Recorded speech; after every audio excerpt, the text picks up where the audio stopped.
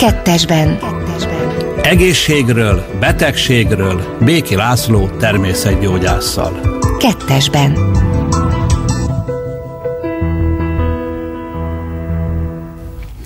Nagy-nagy szeretettel és tisztelettel köszöntöm Önöket, hölgyem és uraim, szert a nagyvilágban, Észak-Amerikában, Dél-Amerikában, Ázsiában és mindenhol, ahol honfitársaink előfordulnak.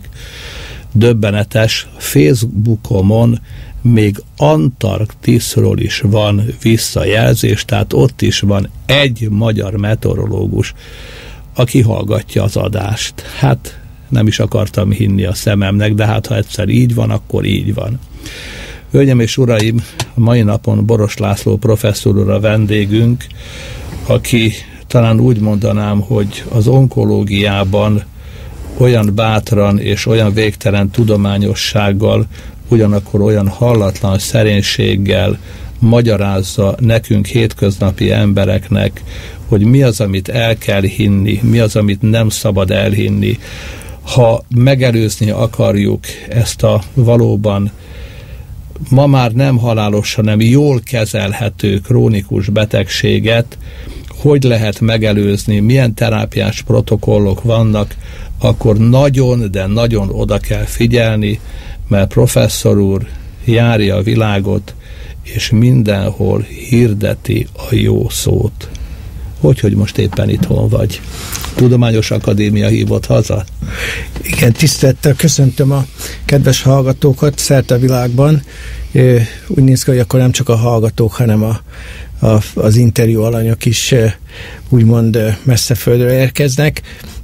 Örülök, hogy újra hidat tudunk létesíteni a külföldön élő magyarokkal, és egy, és egy egészségügyi műsor kapcsán érdekes témákról tudunk beszélgetni, és meg tudjuk osztani a gondolatainkat.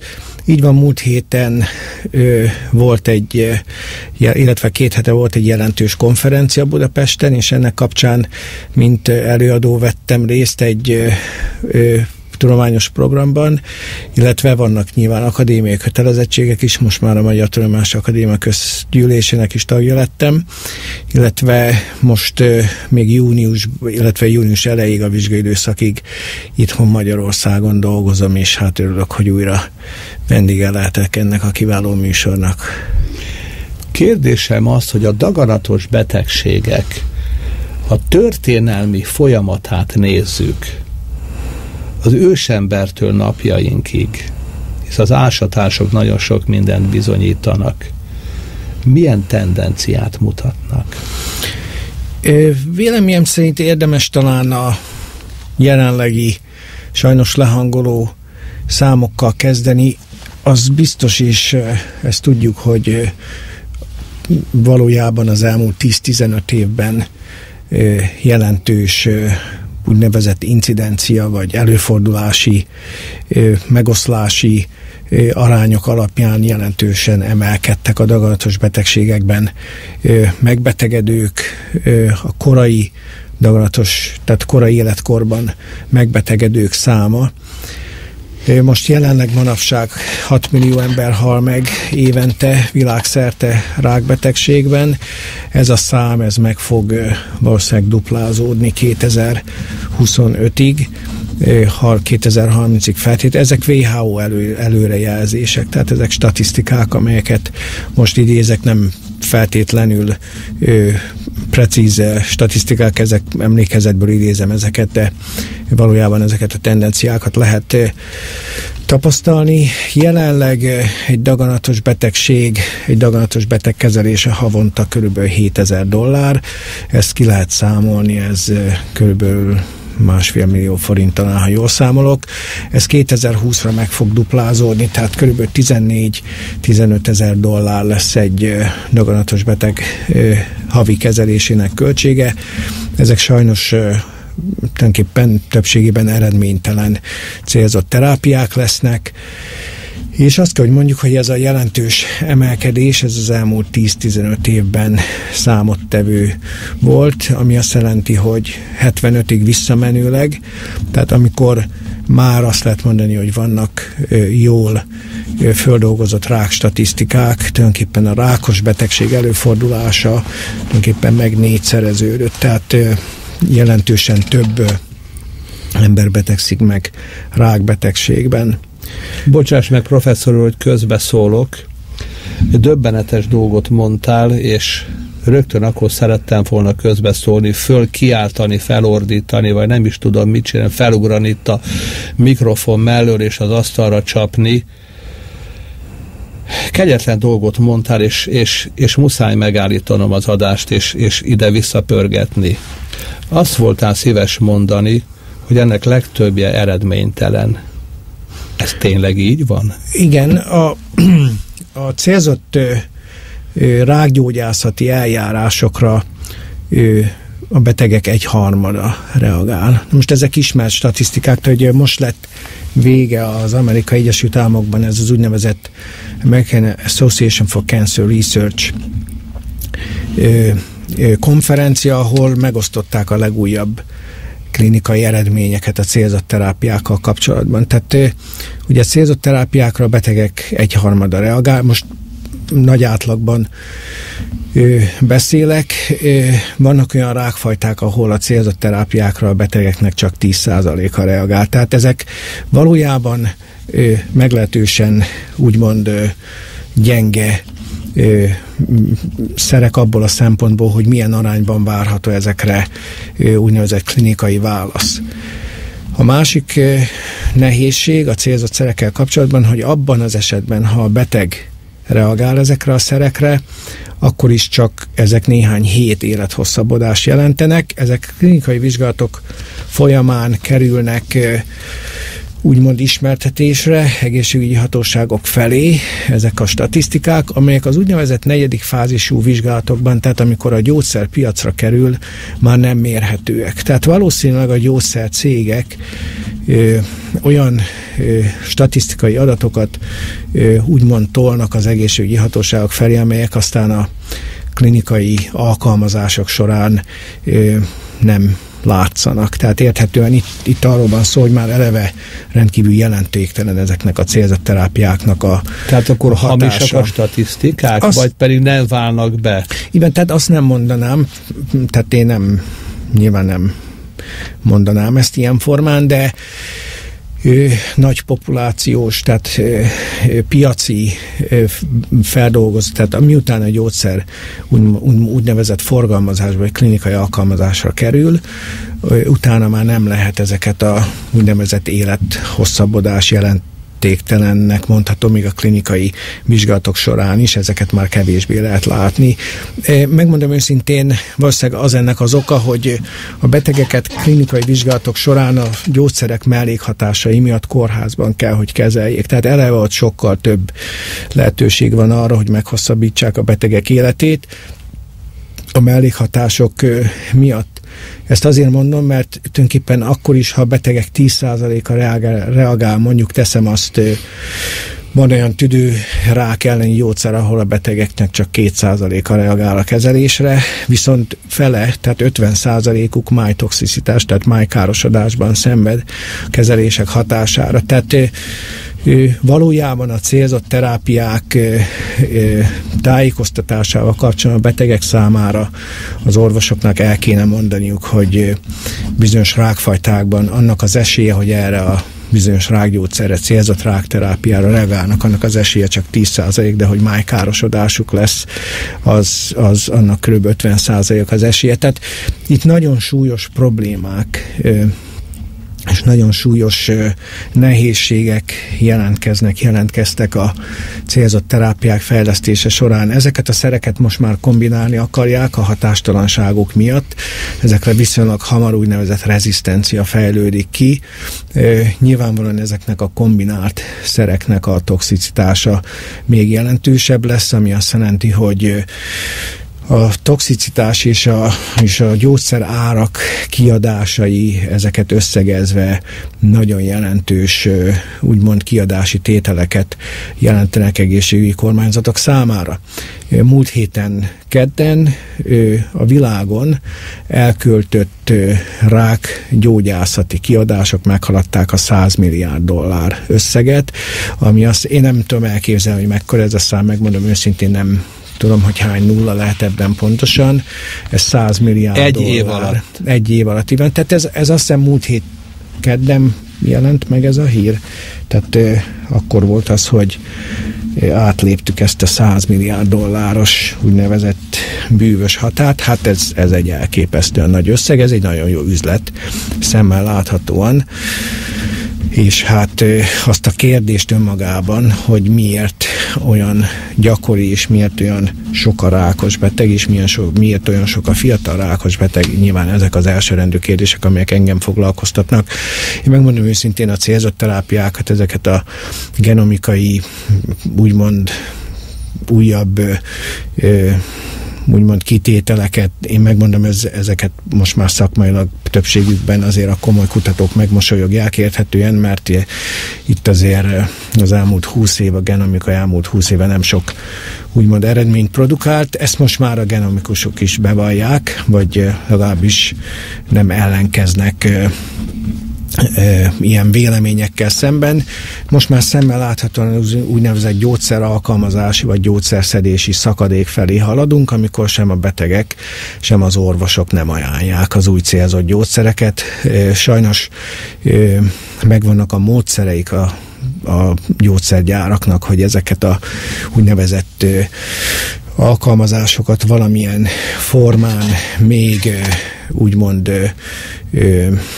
tehát orvosok vagy klinikák, bizonyos orvosok vagy klinikák működésén keresztül alkalmazzák, vagy a fejlesztések tovább folyjanak sajnos. Vannak ennél sokkal, tehát a célzott terápiánál sokkal jobb rák megelőzés, sokkal jobb rák kezelési módszerek vannak, lennének. Tehát most jelenleg ugye, most már az Egyesült Államokban is azt látjuk, hogy az FDA maga is fölvette, vagy megpróbálja fölvenni a harcot a súlyos toxicitási és hát ugye a hatástalan, eredménytelen rákterápiák miatt tulajdonképpen most már az FDA is jelentős programokat finanszíroz, ahol a toxicitással kapcsolatban, tehát a célzott rákgyógyszerek, ezek az úgynevezett tirozinkináz gátló rákgyógyszerek toxicitását próbálják ők biomarker szinten kezelni.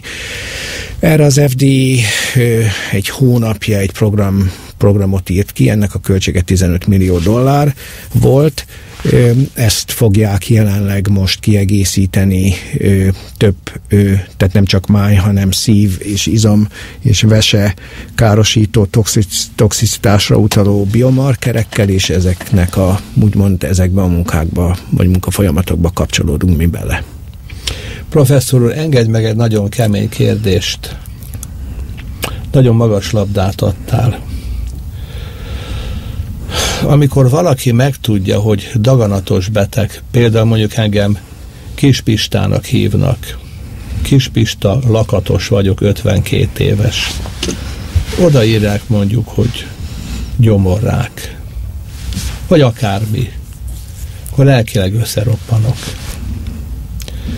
Ha mondjuk én kispistaként hallgatom ezt a rádióadást, mint gyomorrákos, és vakon bízom abba a terápiába, amit valamelyik onkológiai központba adnak, mondjuk Ugandába élok, vagy teljesen mindegy, vagy Dél-Afrikába, Steve Klein vagyok mondjuk, teljesen mindegy, hogy micsoda. Ezzel, amit elmondtál, ezekkel a kutatási eredményekkel, nem történik akkor a lelki sok bennem, hogy tulajdonképpen az élethez visszavezető Ariadne fonalát elengedem? Nem lesz ezzel egy mentális sokkom? Hát ugye valójában én úgy tudom, hogy onkotímek úgymond kezelik a betegeket, vagy javasolnak Igen. bizonyos kezeléseket. De most azt tudni kell, hogy hogy a célzott terápiákat alkalmazva a klinikai, főleg egy klinikai kipróbálás révén egy orvos ezért kap pénzt. Tehát ő effektíve érdekelt abban, az orvos anyagilag is, lévén, hogy, hogyha klinikai kipróbálás alatt áll ez a gyógyszer, mondjuk egy amerikai gyógyszercég által finanszírozott gyógyszerkipróbálás folyik, ebből van több is Magyarországon, akkor ugye az orvos érdekelt abban, hogy bizonyos célzott gyógyszereket kapjon a beteg. Nyilván az adatokat aztán továbbítják a megfelelő helyre. Abban az esetben, hogyha nyilvánvalóan, és Isten ne adja valakinek úgymond rákdiagnózissal egy onkotím elé kell menni, akkor arra is számíthat sajnos, hogy a saját maga által esetleg az asztalra tett alternatív kezelést valószínűleg az onkotim el fogja utasítani, utasítani illetve úgy megtagadja tőle az onkológiai utókezelést, abban az esetben, hogyha nem a saját protokolljukat használja. Tehát, tehát ilyen formán, és ha megnézzük valójában a célzott szerek közül Hát talán vannak anekdotális javulások, de hát mondjuk ezeknek az okát senki nem tudja. Ez a, az úgynevezett evidencia alapú hablatyolás, ami jelenleg folyik ugye a gyógyászatban, hát ugye ezek nem nyilván nincs itt semmiféle evidenciáról vagy bizonyítékról szó, ezek statisztikák legjobb esetben, és hát valójában kezelésekkel kapcsolatos úgymond eredmények vagy statisztikai felméréseket nyilván evidenciának használni, ez egyfajta gyógyszergyári szlogen, és semmi más célja nincs, mint tulajdonképpen mind az orvosokat, mind a betegeket félrevezesse. Tehát itt valójában arról van szó, hogy egy statisztikai felmérés alapján lehet úgymond statisztikailag előre lehet jelezni az úgynevezett probability angolul, vagy úgynevezett valószínűsége annak, hogy egy szer hat vagy nem hat, de ez egy, egy egyénre vonatkozóan ennek semmiféle úgymond konzekvenciája nincs. Egy egyénben nyilván meg kell mérni azokat a biomarkereket, amik azt úgymond feltételezik, vagy azt igazolják, hogy egy bizonyos gyógyszere a beteg úgymond válaszol, vagy nem. És hagyd mondjak erre egy példát, és akkor talán világosabb lesz. Akartál valamit kérdezni? Persze, kérdezni? igen, igen, aranyos volt. Következőre gondoltam, mert azt mondod, hogy ott ülök az onkotím előtt és megint magas labdát adtál, és azt mondtad, hogy az onkotim azt mondja, hogy ha az alternatív medicinát valaki fölveszi, akkor bizony fel is út, le is út kifele a kórházból. Mi van akkor, hogyha én Dr. Kucséber Rihárd vagyok, mondtam egy ilyen nevet, és azt mondom, rendben van, uraim, kötünk egy írásos szerződést. Én aláírom, hogy nem használok semmi más, csak amit önök mondanak. Tessenek szívesek aláírni, hogy mit garantálnak.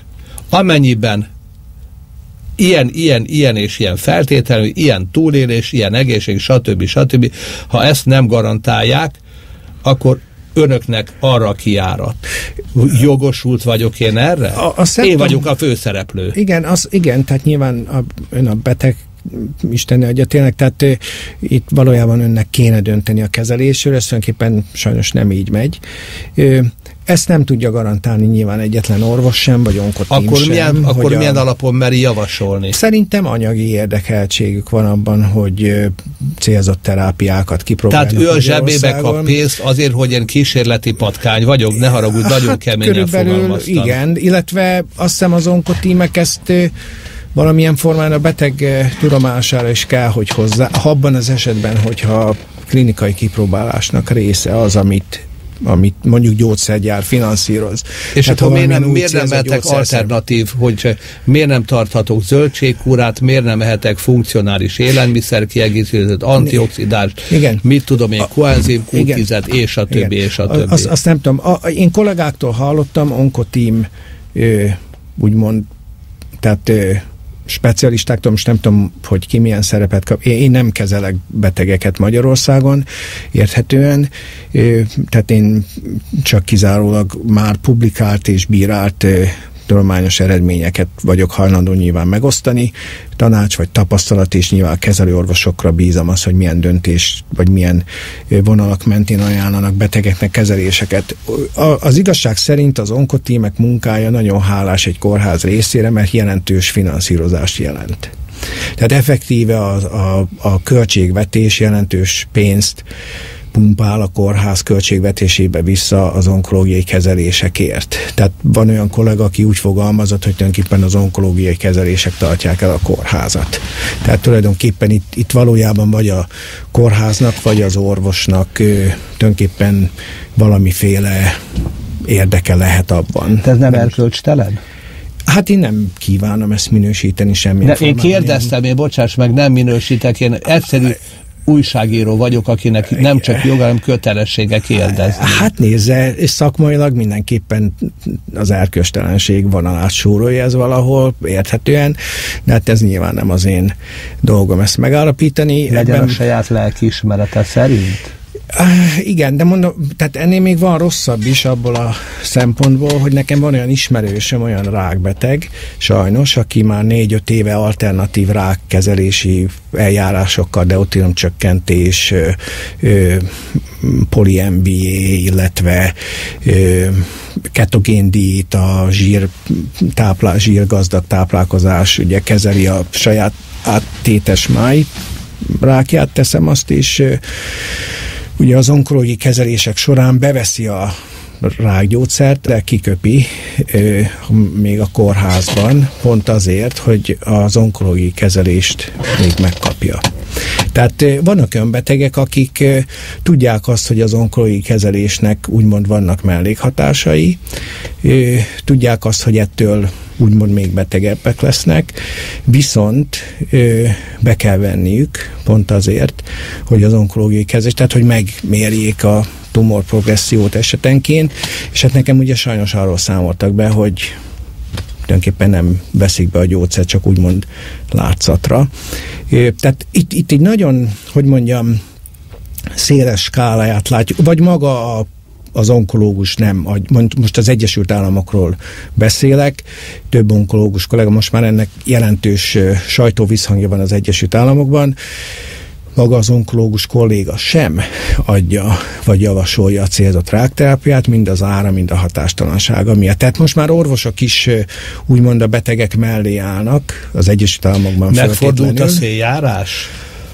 Vagy fordulóban van? Hát nézze, itt, vagy nézte, itt valójában azt nem tudom, hogy ez, ez, ez mennyire elterjedt, de vannak ez inkább egy lelkiismereti kérdés véleményem szerint. Tehát ismerve a rákterápiák hatástalanságát, most nem mondom, hogy hatástalanságát, hanem minimális hatásosságát fogalmazzunk így, pontosítsunk, és annak az összegét, tehát az úgynevezett költség és benefit, vagy költség és eredményesség arányát szakemberek, onkológusok az Egyesült Államokban, jelentős kórházakban, tehát itt a Harvard Egyetem, vagy a, a New Yorki kórházak, így van, tehát jelentős onkológiai szakemberek és intézetek úgymond döntenek, vagy javasolják azt, hogy hogy ugye bizonyos célzott terápiákat ne alkalmazzanak, mert ugye valószínűleg nem lesz olyan várt hatásuk, mint amilyen költségekbe ez kerül önmagában. Tehát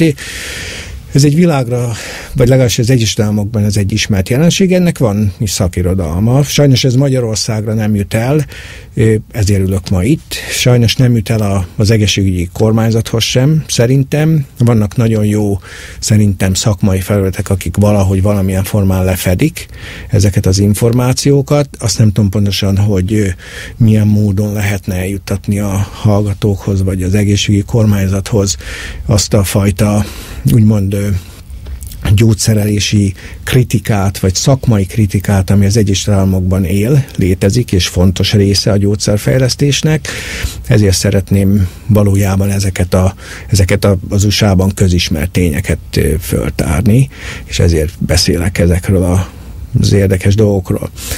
A másik nagyon fontos, amit szeretnék elmondani, hogy tulajdonképpen a gyógyszerfinanszírozási rendszer, a gyógyszer, tehát így van az orvosok fizetése, a gyógyszerfinanszírozási rendszer, például a statin gyógyszerek, amelyek jelenleg 15 milliárd forintba kerülnek az egészségügyi költségvetésnek, pontosabban a költségvetésnek 10 milliárd, az a betegek zsebéből pedig 4,5 milliárd forint jön ki. Ezek tulajdonképpen koleszterin szintézist gátló gyógyszerek, de valójában a az ajánlások, vagy ezek az úgynevezett evidencia mentén ugye gyógyszercégek által az egészségügyre erőltetett kiadások, ezek, ezek ugye tulajdonképpen ezeknek nincs klinikai ö, hatása. Tehát itt effektíve arról van szó, hogy azok az egyéni biomarkerek, amelyek mentén meg lehetne mérni ennek a gyógyszernek a célpontját egy betegben, hogy ez emelkedett vagy nem, Ugye ezt nem használják jelenleg azért, hogy valójában egy sokkal szélesebb evidencia nyilván nem evidencia ez, hanem egy gyógyszergyári szlogen, ugye ezeket a gyógyszereket ugye piacon tartsák. A probléma az, hogy amikor egy magyar orvos fölír egy olyan statin gyógyszert, amire a betegnek nincs semmi szükség, és ez a betegek 90%-ában így van, akkor a saját fizetését tolja át egy gyógyszercégnek, akinek ezt a gyógyszert egy egészségügyi kormányzat finanszírozza. Tehát ha csak a statinokról beszélünk, akkor véleményem szerint egy, egy, egy 9-10 milliárd forintot vissza lehetne forgatni az egészségügybe gyógyszer finanszírozási észszerű döntések alapján, és ugye ezeket nyilván orvosi fizetés, vagy nővéri, vagy kórházi úgynevezett infrastruktúra. Tehát át kéne konvertálni a pénzügyi Így van. Miért? Azon egyszerű oknál fogva, azoknak a betegeknek, akiknek ezeket a gyógyszereket fölírja az orvos, azoknak semmi szükségük a statin gyógyszerek. Tehát nem az a célpont, ami ellen ez a gyógyszer hat, ez úgynevezett HMG koenzim A-reduktáz gátló enzim, tulajdonképpen ezekben a, ezekben a betegeknek nem emelkedett. Maga a koleszterin szintemelkedés sem indokolná, tehát nem jelentős ennek a gyógyszernek a szedését. Tulajdonképpen magas vérnyomás vagy elhízás kezelésére vannak más, meg sokkal megfelelőbb, elsősorban diétás beavatkozások, és abban az esetben, ha, gyó, ha, be, ha az orvosnak tulajdonképpen a fizetés elég lenne ahhoz, hogy tulajdonképpen a beteggel többet foglalkozni, és elmagyarázza neki azokat a nagyon fontos egészség, életmódváltozásban rizikófaktorokat, ketogén a mozgás, csak hogy Kacagás. kezdjük a legfontosabbakkal, akkor, akkor szerintem ő sokkal jobb állapotban lenne a magyar egészségügy. Megengedsz egy nagyon furcsa dolgot? A minap beszéltem egy idős, sokat látott kardiológussal, és beszélgettünk a koleszterinről. Most elmondok egy számot, és az a kérésem, hogy kommentáld, légy szíves. Következőt mondta. Az összkoleszterinnek a megállapítása az mindig a beteg állapotától függ.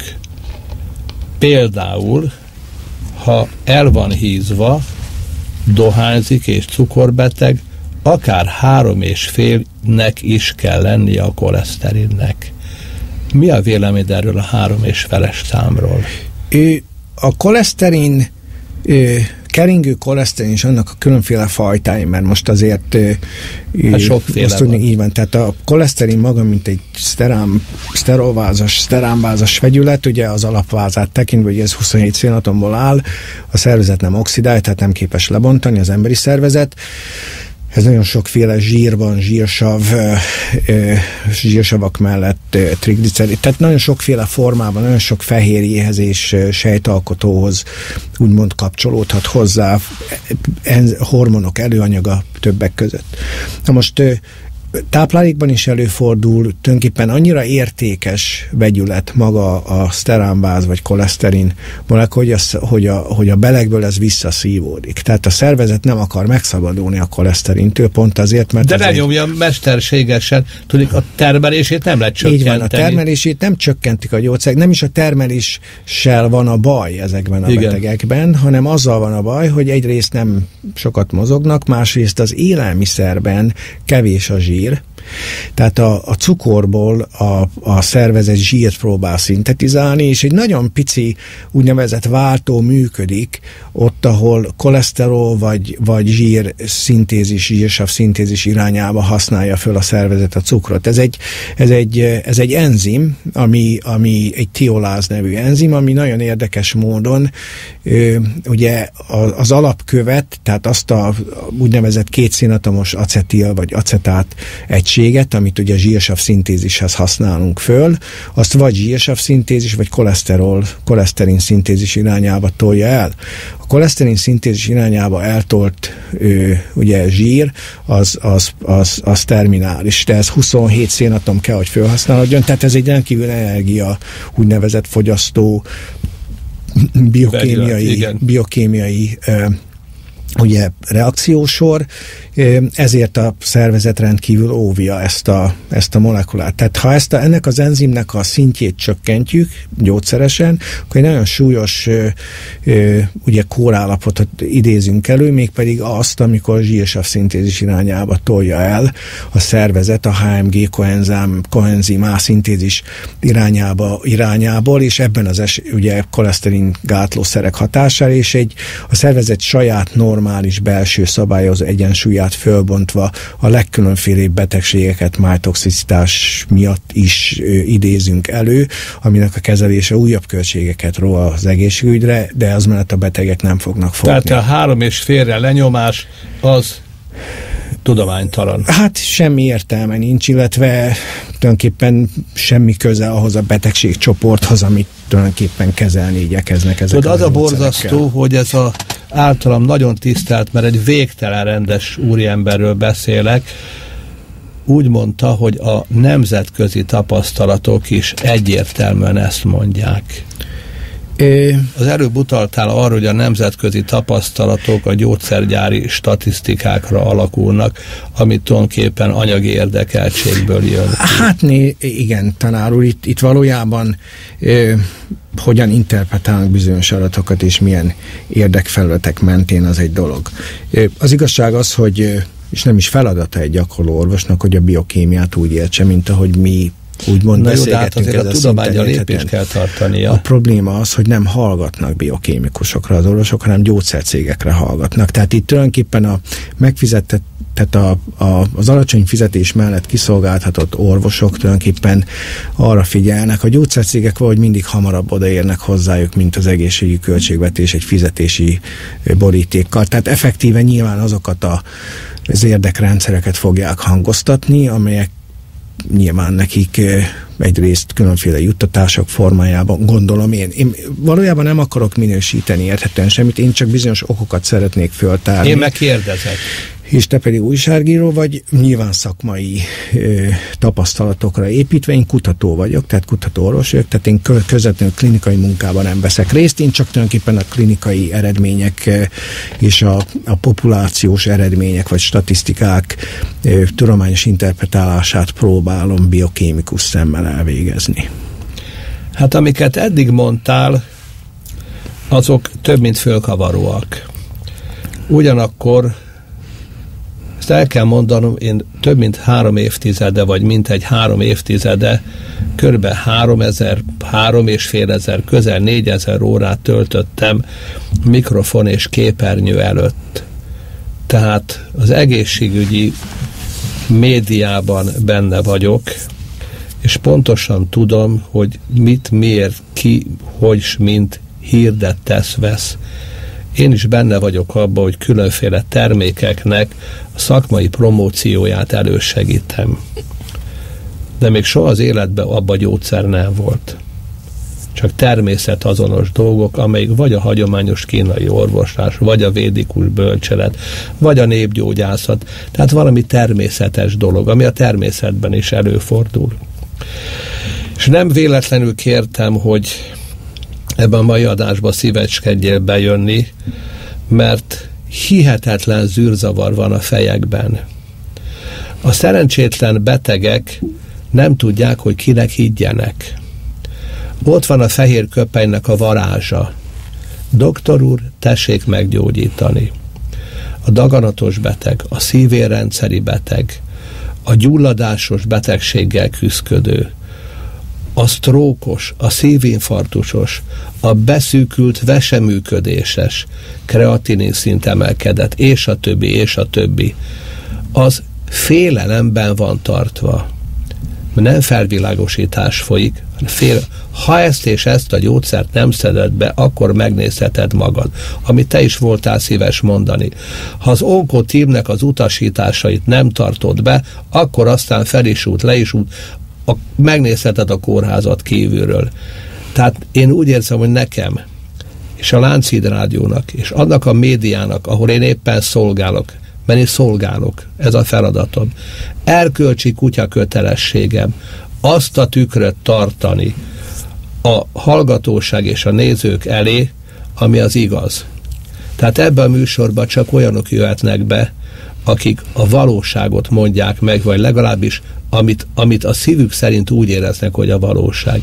Ezért voltál már sokszor adásban, ezért vagy most is, és ezért leszel legközelebb is adásban, meg még a Jóisten tudja hánysor, mert nem függsz senkitől. Egyedül a Teremtő Jóistentől, a saját igazságérzetettől és a tudománytól függsz. Jól mondtam? Igen, Tráról, és, és ott fontos meghúzni a határt, hogy az ember mondjuk magam részéről, mint, mint kutatóorvos milyen, milyen formában úgymond nyilatkozunk, pont ezért, mert életekről van szó egyértelműen, emberi életről. Azt hagyd mondjam, hogy tulajdonképpen akkor, amikor egy orvos tulajdonképpen betegeknek te- kezelést javasol, akkor tulajdonképpen a betegeket vagy a hozzátartozókat segíti hozzá ahhoz, hozzá, hogy, hogy egy jó döntést, vagy a legjobb döntést, a körülményeket tekintve a legjobb döntést hozzák saját kezelésükkel kapcsolatban. Az egyes államokban ezt a döntést mindig a beteg végzi.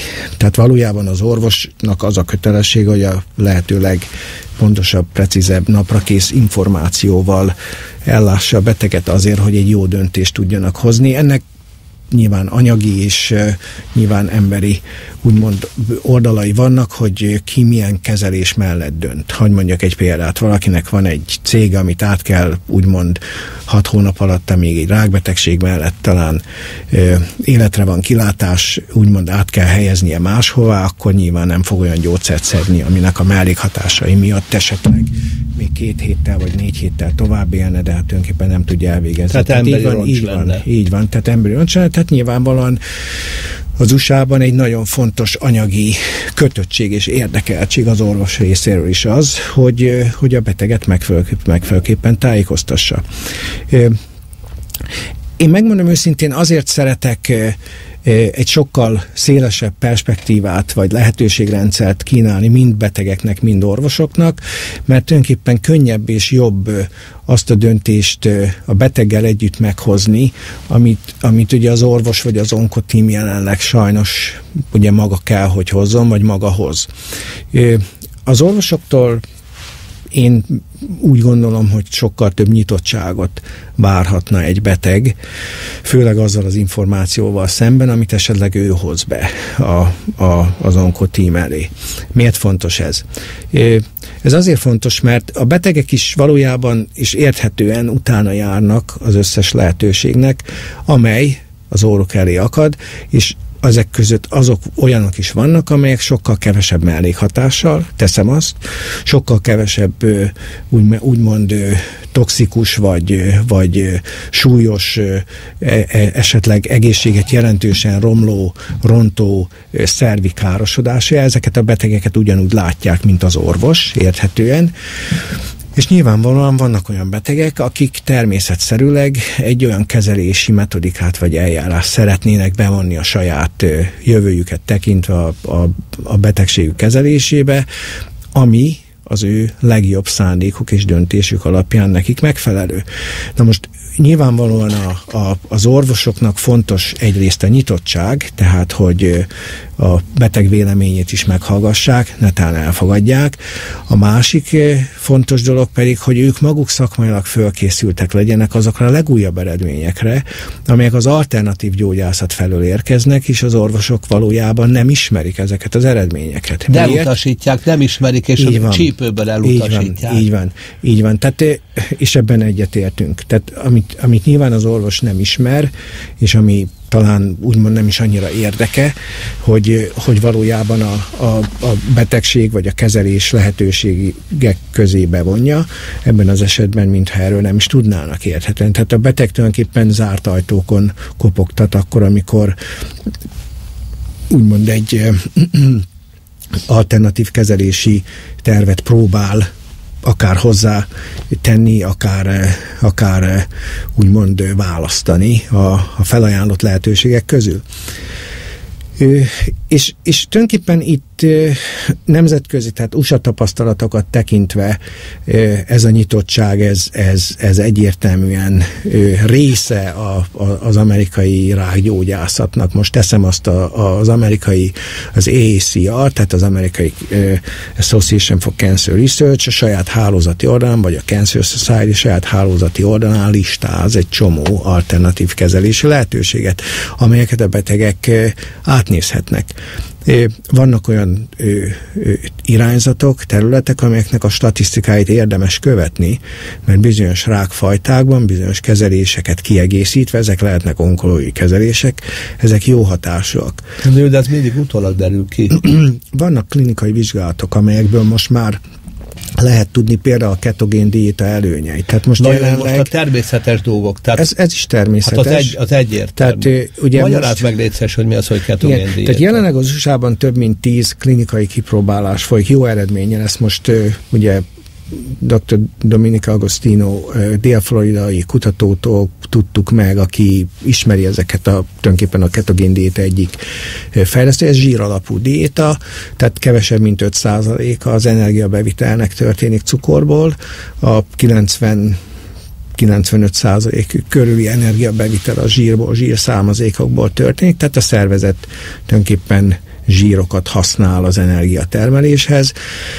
A zsírok ugye sokkal megfelelőbbek energiatermelés szempontjából, lévén mert teljes egészében lebomlanak, tehát a zsírok az egyetlen szubsztrát típus, a zsírok az a, az, az anyagcsere típus, vagy az az anyagcsere termék, amelyik széndiokszidra és vízre ég el, tehát ez teljes egészében úgymond kikerül a szervezetből, nem úgy, mint a cukrok, amelyek raktározásra kerülnek, és abban az esetben, hogyha rövid ö, szénláncú zsírsavakat, ezek az úgynevezett ketontestek, tehát ezek ilyen rövidített ö, zsír zsírszállam. Ezek a legjobb egyébként az, az oktadek, tehát a 8 szénatomos, tehát az oktán szám, a benzinben is tulajdonképpen az a Igen. benzin ég a legjobban, amelyiknek ez a rövid szénláncú zsír savja, vagy szénhidrogénje ugye a legnagyobb mennyiségbe fordul elő. Ez igaz az emberi szervezetre is, végül is ott is egy oxidációs, tehát egy égési folyamat történik, tehát az emberi szervezetben lévő kis mitokondriumok is akkor tudnak leginkább és legjobban energiát termelni, hogyha a táplálékban sok ez a ez a rövid szénláncú Tehát tegyünk szalonnát, libazsírt, kacsazsírt, vajat, így van, tejföld. Így van, így van. Illetve többségében, tehát így van, minél több zsírt, zsíradékot vigyünk, ami most már egyébként az USA-ban egy táplálkozási ajánlás is, tehát ugye a 80-as években elindultak a cukor-cukor alapú táplálkozás mentén, most már az amerikaiaknak közel fele, tehát 30% a morbid módon, és körülbelül 60%-a pedig elhízott, tehát itt tulajdonképpen nagyon súlyos és nagyon jelentős egészségkárosító hatásai, populációs szintű egészségkárosító hatásai vannak azoknak a szemét élelmiszeripi termékeknek, amivel meg döntik, meg zúdítják tulajdonképpen a fogyasztói társadalmakat. Valójában vissza kéne térni a háztály alapú drága, de érthetően minőségi deutériumban szegény zsírsav, zsírsavak égetésére, amelyek hát nyilván az anyagcsere víz termelésén keresztül a DNS stabilitást is szabályozzák. Így van, tehát nem feltétlenül a mennyisége a tápláléknak fontos, hanem nyilván a minősége érthetően. Konkretizáljuk ezt tányér, kanák és villa formában lágy tojás, parasztrántotta, Igen. főzelékek, nyerzöldségek, zöldség, saláta kevés teljes őrlési gabonából készült kenyér? Így van, tehát ugye térjünk át a számokra. Tehát ugye az a komfort minimum az kb. 1000 kilokalória. Tehát 1000 kilokalória mellett azt lehet mondani, hogy a teljes egészében felhasználjuk a bevitt élelmiszer mennyiséget, több minimum napjában egy 300-400 kilokalóriára lenne szükségünk, hogy a testhőmérsékletünket föntartsuk. Hát ez az Így van, ez az alapreguláció. Nyilván, ha aratunk, akkor, vagy a kaszások, azok napi 4000 kilokalóriát is elégettek annó, viszont érdekes módon csak egy oldalszalonnát, két karaj kenyeret és egy kulas vizet vittük magukkal, vittek meg magukkal. Hagymát. Meg hagymát. Így van. Tehát e, tulajdonképpen egy oldalszalonna, ami körülbelül egy fél kiló szalonna, teszem azt, az elegendő ahhoz, hogy körülbelül 6 100 gram, azaz kicsit több, mint, mint fél liter vizet termeljen, mert ugye a zsírból mi vizet termelünk, Igen. tehát ugye az anyagcserevíz termelés a mitokondriumban ez ezt teszi lehetővé, több kb. 600 g vizet, tehát mintha fél liter vizet megittak volna, és az mellett jelentős mennyiségű úgynevezett ATP, azaz energia hordozó molekula, energia, nagy energia foszfát termelődik, amit nyilván ugye izommunkához felhasználtak. Tehát tulajdonképpen a zsír, a zsíradéka és a kenyeret megelégették triglicerid formájában, tehát a cukrot lebontották e, e, e, szőlősavvá, ami nyilván a trikarbonsav ciklus, tehát ezeket a mitokondriumokat tudja táplálni egy más útvonalon. Tehát itt, itt valójában arról van szó, hogy hogy nagyon úgymond jó kihasznált lássa, vagy kihasználtsággal a mitokondriumokat tudták e, e, hasznosítani ahhoz, hogy mindez mind egyrészt vizet termeljenek, másrészt ATP-t, energiát, közben mindent e, úgymond föl dolgoztak a táplálékból. Egyre több idős ember jelentkezik beszűkült vese leletekkel. Késé emelkedett karban, mint késé emelkedett kreatinin szint, a glomerulus filtrációs ráta is egy kissé emelkedett, tehát 50-60 körüli, tehát erre még nem mutatjuk azt, hogy veselégtelenség, inkább azt mondjuk, hogy beszűkült folyamatok, egyre kevesebb az elemi nefron száma, itt milyen diétát javasolsz? Ö, így van.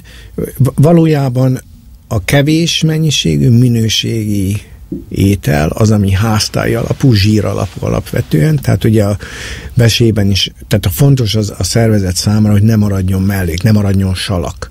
Tulajdonképpen egy, egy, egy, egy biológiai oxidációnak is az a lényege, hogy ne cukrot égessen, mert ugye a cukorban van oxigén, meg hidrogén, ami út, út, útjába áll a, a mitokondriumnak. A mitokondrium a levegőből Igen. veszi az oxigént. Tehát effektíve ugye a, a szöveti oxigenizáltság, a szöveti energiatermelés alappillérei a levegőből érkező oxigén, és a, a zsíradék, ami ugye együttesen. Tehát nulla, nulla szénhidrát. tehát minimális szénhidrát. 5% szénhidrát az azért fontos, mert nyilván az a leggyorsabb. És ez keményítő lehet mondjuk egy teljes őrlésű kenyér, vagy pedig vagy Igen. pedig egy indiáris, egy vadris, vagy hajdina, vagy köles, tehát ami, ami, ami, ami, ami, amiben nulla cukor van, hanem inkább lassan bomló keményítő? Igen, ez lehet keményítő is, lehet bármilyen úgymond keményítő alapú, tehát ami keményítővé alakulhat, az ugye cukrok, és ami, ami cukor alakulhat, az keményítő ebben az esetben, tehát kettő az kicserélhető hát ilyen formán, tehát az ugyanaz, végül is a keményítő az ott egy, egy négyes glikozidos tulajdonképpen cukor van. Igen. Ezt úgy képzeljük el, mint a vatta cukor. Tehát a keményítő az úgy néz, ki, né, úgy, van, úgy néz ki, mintha cukrot, vatta cukrot fölcsavarnánk egy hurka Igen. pácikára. Tehát itt effektíve ennek 5% vagy annál kevesebb. Igen. Úgymond kell, hogy legyen a diétában. Több pedig zsíradék. Most a zsíradékban is, a trigliceridekben is van úgynevezett glicerol, ami egy három szénatomos cukor előtermék, tehát abban az esetben, ha zsír alapú diétát tartunk, akkor is van a szervezetnek lehetősége arra, hogy a cukor szintjét pótolja a vérben, de ez nem a kívülről bevitt cukorból történik, hanem a glicerolból. Tehát, és a szervezetnek megvannak a módjai a májnak elsősorban, mm-hmm. hogy mhm. ezeket a, ezeket a táplálékból... Tehát akkor zsíradék, bevitt... zöldség, főzelékek, és és amennyire lehet minimalizálni még a keményítőt is. Cukrot, így van, cukrot, keményítőt, szénhidrátokat minimalizálni, valamennyi kevés fehérjére szükség van, az egy másik 5 maximum, teszem azt, vannak eszenciális hát nevezett... Mondjuk ö, egy, egy-két tojás naponta, hát egy tojás van, 6 g fehérje. Így van, így van, egy-két tojás naponta, ö, érthetően, illetve talán még annyi sem, tehát egy tojás is elég. Igen. Ö, illetve az mellé a zöldségek tartalmazzák, úgymond a fehér dió például, az tartalmazza mind a, mind a tízegy néhány eszenciális, tehát ezeket a fenilalanin, metion, tehát ezeket, azokat a fehér, azokat az aminosavakat, amelyeket a szervezetbe kívülről kell bevinni. Professzor úr, reggelig tudnánk beszélgetni és akkor még csak a tartalom jegyzékénél tartanánk a helyes életvezetésnek, de sajnos itt olyan korlátok vannak, amit úgy hívunk, hogy időkorlát, és befejeződött a műsoridő.